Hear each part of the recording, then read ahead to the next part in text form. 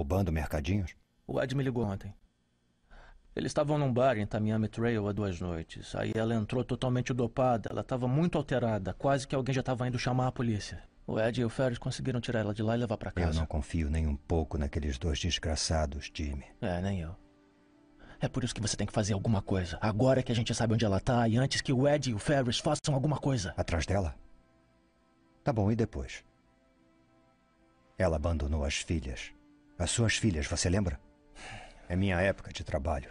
E eu tenho que arriscar tudo para trazer ela de volta. Por mim, ela pode continuar muito bem onde está. Ela tá doente, pai.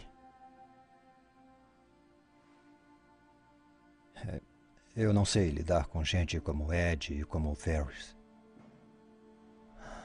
E além disso, você acha que ela vai me deixar entrar lá e levar ela embora tão fácil? Só posso contar com o senhor, pai.